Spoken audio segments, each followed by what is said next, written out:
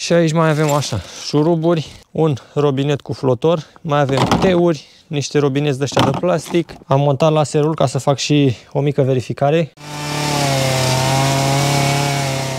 Eu doar am învățat să refolosesc lucrurile vechi. Se întâmplă asta, ia uite. Am refăcut și aici țarcul la viței. Uite cum vine apa, ia uite.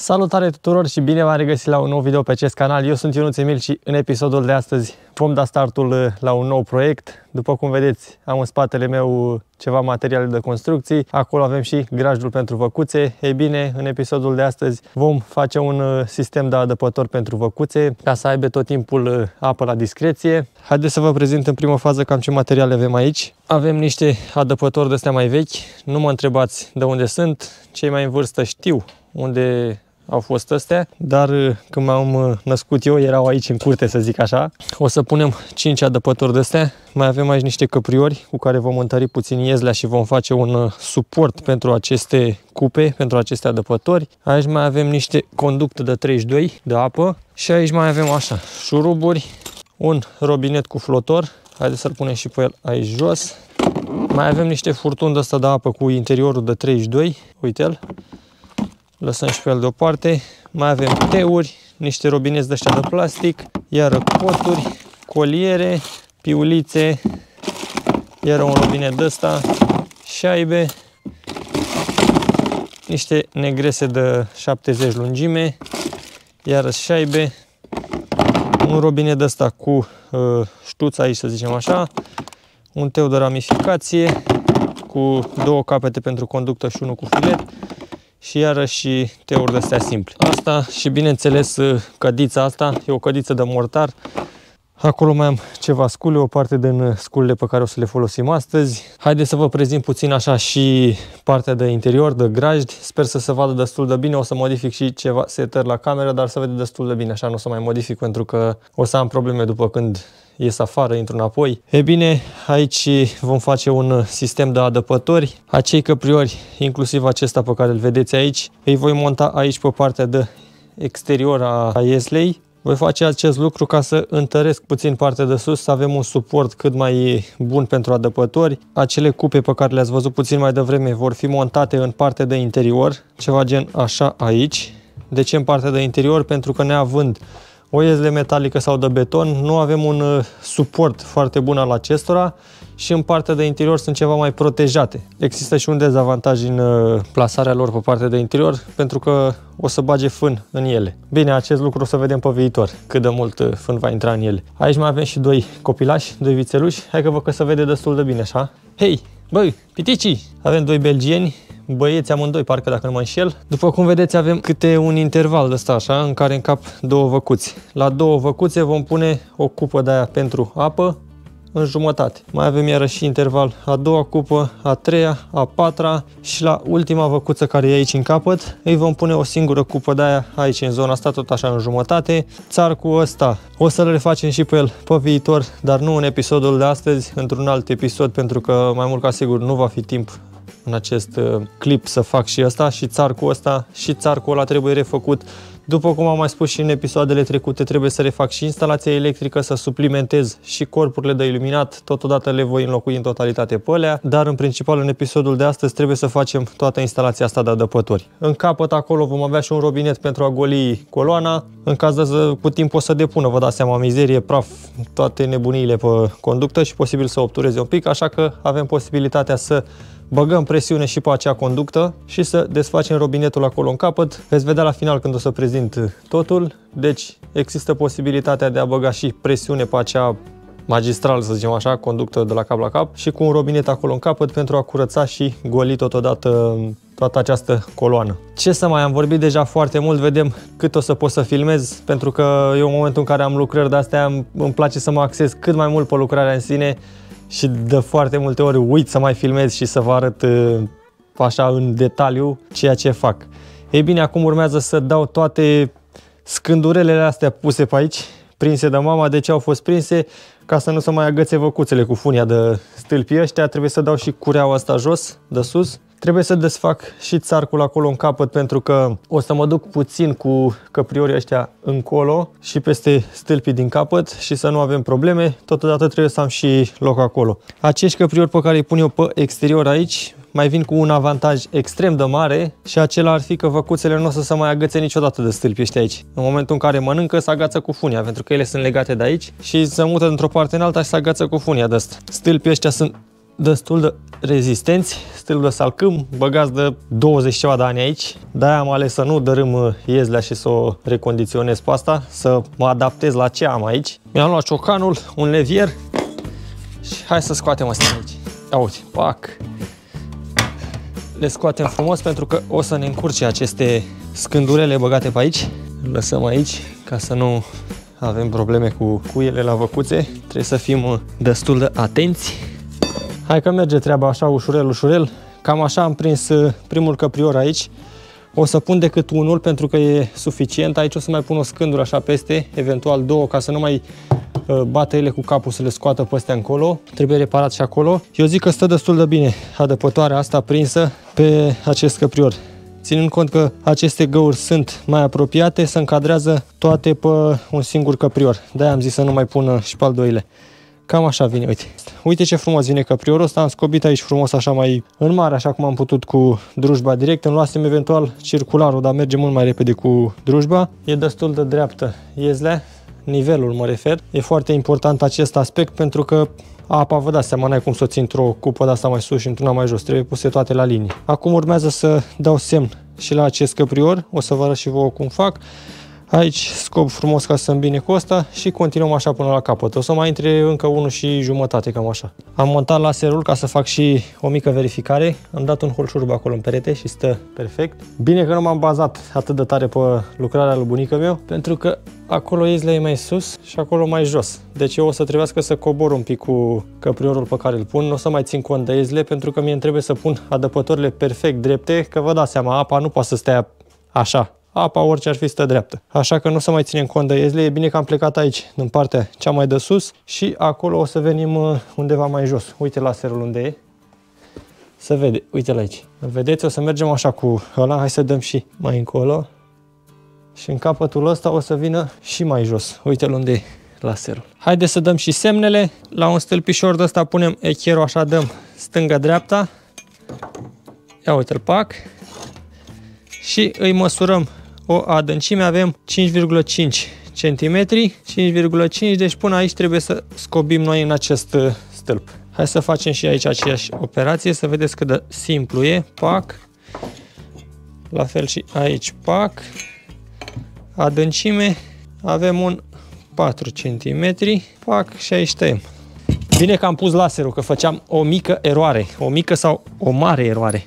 Punem asta aici și acum urmează să dăm semne peste tot la asta. Acum voi da semn așa în dreptul fiecărui stâlp ca să fie drept și tăiem frumos uh, toate alea.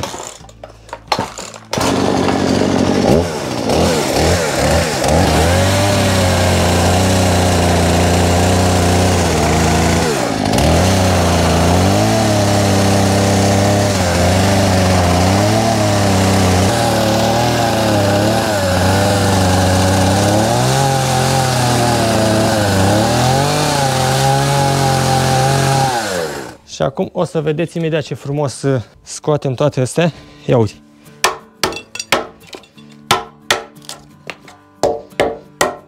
De fapt, hai să luăm ăsta, că așa am făcut și mai devreme. Ia uite.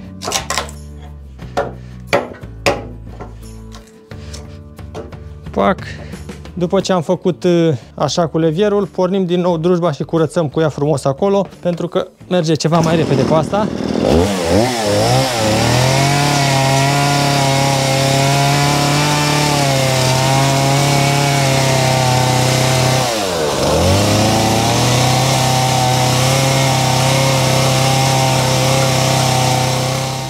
Haideți să vedem cum intră și pe unde mai trebuie ajustat. Mai trebuie ajustat aici. Hai să vedem acum.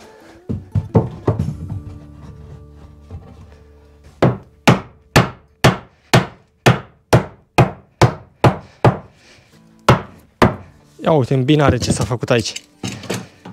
Mai bine de atât nici că se pute.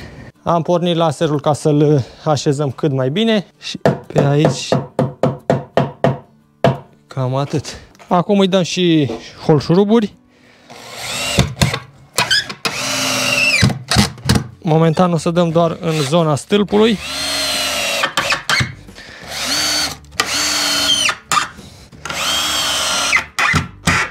Haideți să fixăm și adăpătorile, să dăm găuri. Am făcut un șablon de asta cu patru găuri exact cum are fiecare cupă de aia. Prindem asta aici așa. Cam atât. Și acum urmează să dăm găurile. Am bor mașina asta mare cu dictă mai burghiul. Hai să îi dăm așa frumos.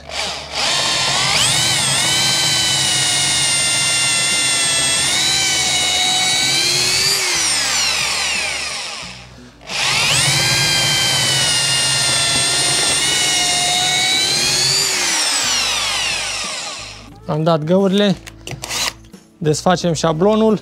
Găurile pe partea de interior posibil să nu fie chiar așa perfect centrate, dar ținând cont că acele adăpători au găurile puțin mai mari și o să mai lărgim și noi puțin gaura aici, astfel încât să centrăm șuruburile cât mai bine. N-am dat găurile din interior către exterior pentru că riscam să nu ies aici, unde îmi trebuie așa frumos și nu aveam loc nici cu dicta mai mașinăria pe care o am. Haideți să pregătim și șuruburile. Șuruburile sunt de 8. Băgăm cât o șaibă de asta mare pe ele. Avem șaibă de asta mare în partea exterioară unde strânge pe lemn și o șaibă mai micuță în partea interioară unde strânge pe uh, suportul cupei pentru apă. Uite așa. Luăm și o cupă de asta să vedem cum vine aici. Ia uite cum a venit la fix, a dat pe găuri. O să ne pregătim și câte o șaibă și o piuliță ca să putem să o fixăm. O să mă dau eu pe partea asta la altă că îmi vine foarte rău pe dos uh, dacă stau așa. Și o să o băgăm aici. E puțin mai dificil că e spațiu foarte mic aici în spate. Gata, am pus o piuliță și o șaibă. Am piulițe de astea cu frână. Cam așa sunt uh, piulițele. Uite, o frână de aia micuță și cât o șaibă de asta mai micuță. Haideți să și strângem. Se așează singură. Totodată se lipește și ăsta foarte bine de scândura aia și impresează și extrem de mult pe partea de stâlp. Și hai să facem și un test, să vedem cât de rezistente sunt.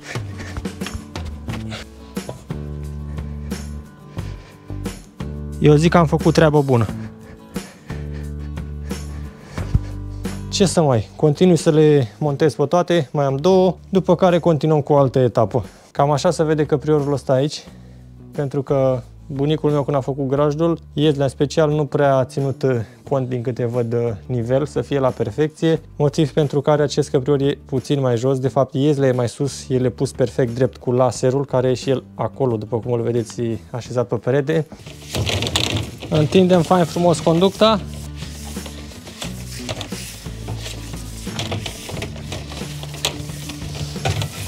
Și acum urmează să o tai, să-i pun teurile alea și ne apucăm uh, să facem frumos, să mufăm totul, pac, pac, pac și uite așa merge treaba super bine. Ca să mufăm uh, conductele între ele, de fapt să punem acel teu trebuie să curățăm marginea asta unde am uh, tăiat ca să nu agățe garnitura. Uite așa foarte puțin. Luăm un teu de ăsta negru, inelul e acolo în interior, e bine, băgăm ăsta aici, băgăm ăsta așa și îl strângem. S-a lăsat seara, de-aia am eliberat uh, totul aici, pentru că obligatoriu trebuie să vină mama cu văcuțele să dea vițelușii. Cam atât am reușit să fac până acum, am instalat și bazinul ăsta, doar că nu e legat la apă. Am pus eu apă în el ca să văd cum stă în toate cupele astea. Cam atât stă în ele, în asta stă cel mai mult și asta parcă cel mai puțin, dacă nu mă înșel. Uite, dar tot uh, e de ajuns, adică poate să bea. Ia uite-l, pac frumos. Cam așa arată și prinderea jos. Aici am prins așa conducta, Aici am pus o scândură așa la jumate, încolo iarăși e prins la fel. Am dat câte un șurub de ăsta uh, autoforan, să zicem așa, are vârful uh, făcut în așa fel încât uh, poate să taie în lemn și a intrat destul de bine în salcâm. Am dat la fiecare stâlp așa câte unul. Cam atât am reușit să fac astăzi. Am făcut și suport la bazinul ăsta, uite-l cum e, cu un cod frumos acolo și aici intră în el. Aici ca să pun piulița am pus o piesă de aia veche și aici e flotorul prins care nu e legat uh, momentan. Uite că vin și văcuțele. Ia, bagă botul acolo. Hai, fată, bagă botul.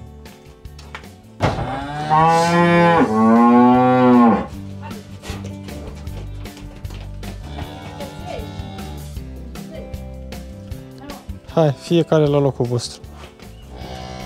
Dar poate să bea cum e aia. Așa, atâta, le ajunge în aia. Că oricum vine într-una în ele. Ce să mai, lăsăm prichindei ăștia să sugă și revin cu continuarea proiectului. Mai avem o leacă de lucrat acolo în partea aia în capăt, în ceea ce privește apa. Haideți să montăm și ultimele două piese. Avem uh, robinetul ăsta căruia i-am pus un uh, cot. E un robinet ăsta care se prinde așa frumos pe conductă. Și mai avem teul de ramificație de acolo de jos. Să vedem cum instalăm conducta asta aici pentru că stă puțin așa curbată. Teoretic aici ar trebui să intre și cu piulița asta.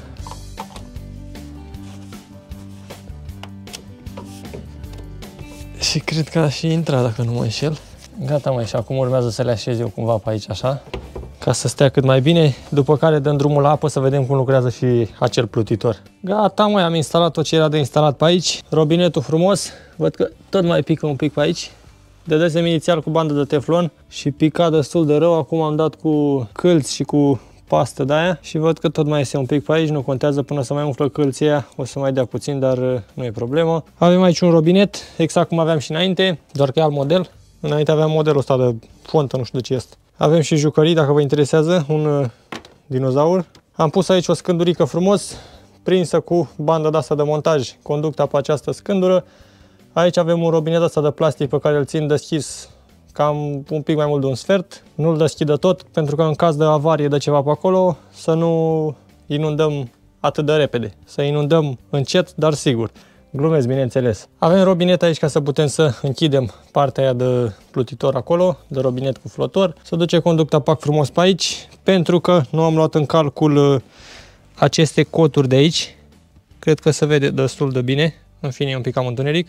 Pentru că nu am luat inițial în calcul aceste coturi de aici, ăsta în special, am fost nevoit să fac aici curbura asta așa, pac, și să ajung la robinetul cu flotor. Dar nu are nimic pentru că e tocmai bine că nu mai există îmbinare aici. Animale ce o să fie aici nu o să ajungă în zona asta pentru că o să închid aici un pic așa și aici, bineînțeles, să izolez partea asta de bazin de văcuțe. Am aici și o găleată și cu o cană ca să facem o probă, să vă arăt și vouă cum funcționează tot uh, sistemul. Avem aici robinetul ăsta.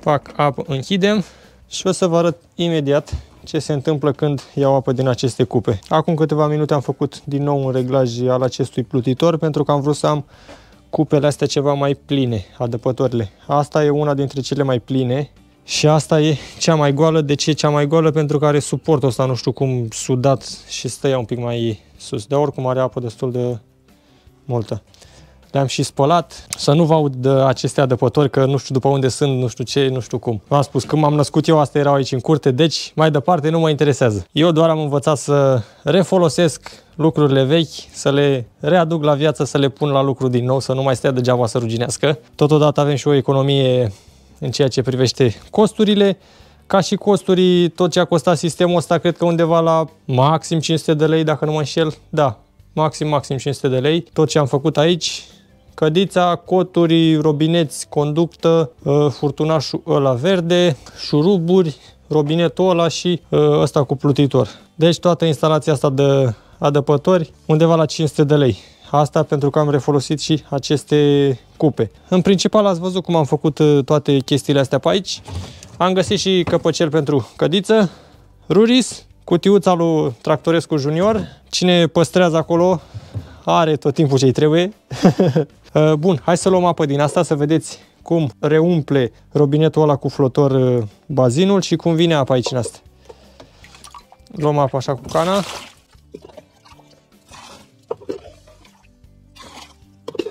Deja a început la să bage. Uitați cum vine aici. Uite că se vede, să, să vede în zona asta cum uh, urcă apa. Ăsta a început să bage și el, robinetul. I-am pus eu această tăbliță pentru că în momentul în care deschidea mai mult, arunca apă și pe aici prin capăt și stropea pe, acest, uh, pe această minge, să zicem așa, și stropea pe afară. Da, i-am pus tăblița aia ca în momentul în care se întâmplă asta, ia uite, curge tot uh, acolo jos. Hai să mai luăm apă de aici. Uite cât de fain vine apa în ele. Se vede aici destul de bine zona asta, cum urcă. Când își face nivelul la care e reglat, o să, o să închidă. Aici robinetul ăsta, cu toate că e prins pe această cădiță care e destul de moale, stă foarte solid pentru că îl ține acest cot și cu conducta care e fixată aici. Uite-l, deja mai curge foarte puțin până își face el nivelul. Adăpătoarea s-a umplut din nou. Hai să scurtăm puțin timpul. Să nu mai așteptăm atât. Facem noi așa. Și gata. Pe aici am mai pus o scândură așa, ca să izolez puțin conducta. Aici am prins cu bandă de asta de montaj. Nu mai are cum să ia nimic de aici.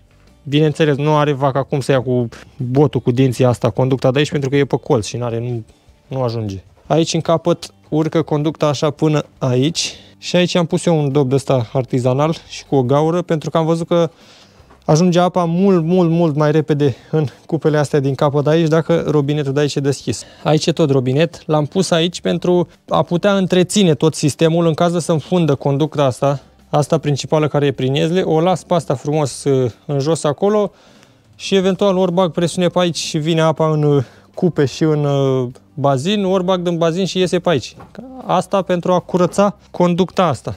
În caz de să depune, de să face depunere pe aici în jos și să înfundă. Dar mă mir să se depună pentru că în momentul în care e apa din asta am văzut cu ce viteză vine înapoi în sus. Aici conducta asta nu are cum să înghețe și nici bazinul pentru că iarna sunt cel puțin 15 grade în uh, grajdul ăsta, dar eventual dacă vor fi probleme, există îmbrăcăminte de aia specială pentru asta. O desfac de aici, pun îmbrăcăminte de aia pe toată și gata. Și aici niște alea polistiren ceva și s-a rezolvat. Ce să mai, acum așteptăm să vină seara, deja i-am comunicat mamei pentru că vreau uh, câteva văcuțe să nu le mai dea diseară la apă în pășune, să le aduc aici ca să vedem și noi o probă așa cum ar trebui să fie la tot uh, ce am muncit aici.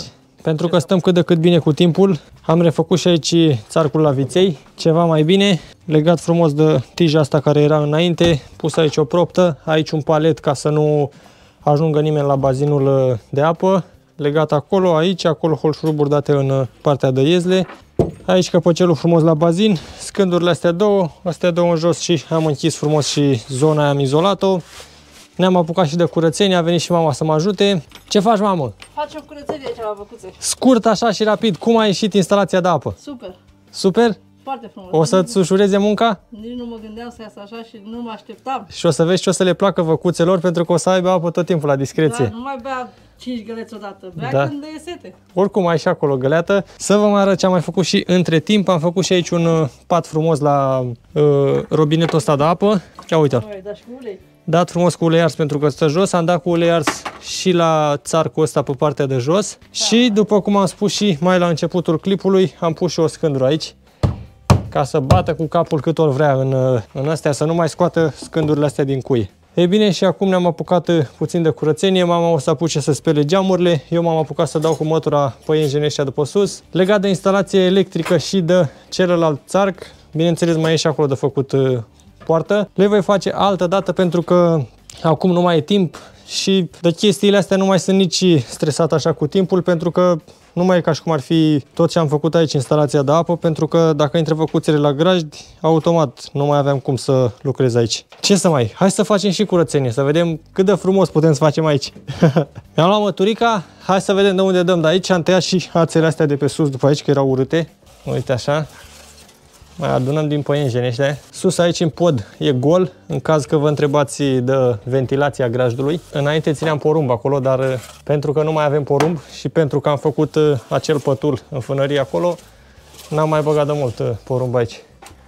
Băgam o dată pe aici și mai e o gură de aia de umplere pe acolo. Am făcut referire la ventilație pentru că am văzut că au mai fost comentarii în trecut legate de acest aspect. Uite, mai că să vede și lumina la cât de bine e închis acoperișul, aoleu, bine că nu intră apă. nu că orice ar fi, eu trebuie să folosesc jucăria asta. Cred că e cea mai folosită unealtă de la Ruris de către mine. Ia uite. Dau cu asta că zboară tot praful după sus. Ia uite.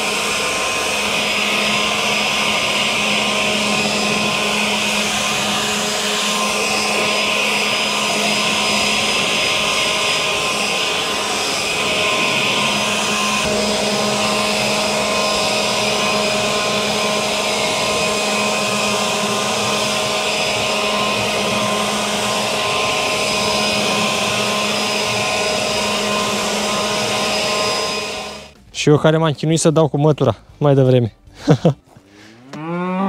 Am adus și două văcuțe pe care nu le-am mai dus la apă în uh, pășune, le-am luat direct acasă și hai să vedem dacă bea apă de aici. Hai să vedem cum bea apă. Ia. Ia uite-o cum bea.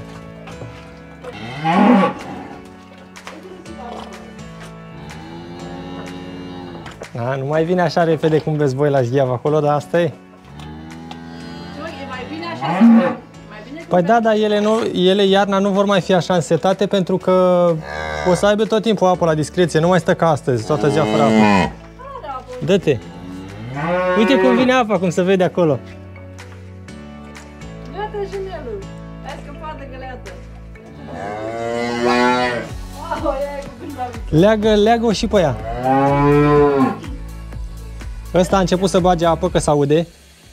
Ia uză. Au, ia cu gândul la mișcări. Ia la Uite cum vine apa, ia uite.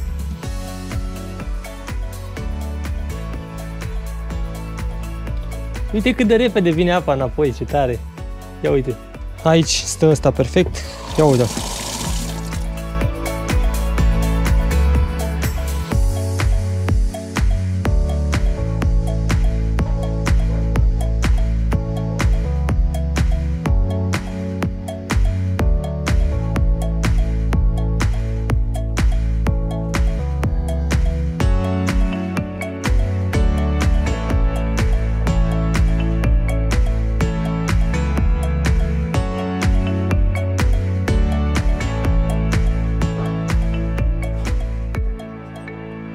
Ei bine, uite că a meritat uh, toată munca mea aici, de o zi și jumătate, cam atât a durat, o zi și jumătate ceea ce am făcut aici în uh, acest graj. Ei bine, cam aici se încheie și clipul meu de astăzi. Nu uitați să dați un like dacă v-a plăcut, nu uitați să vă abonați la canal pentru a fi la curent cu toate videoclipurile pe care le voi posta și până data viitoare, ca de fiecare dată, eu vă doresc numai bine!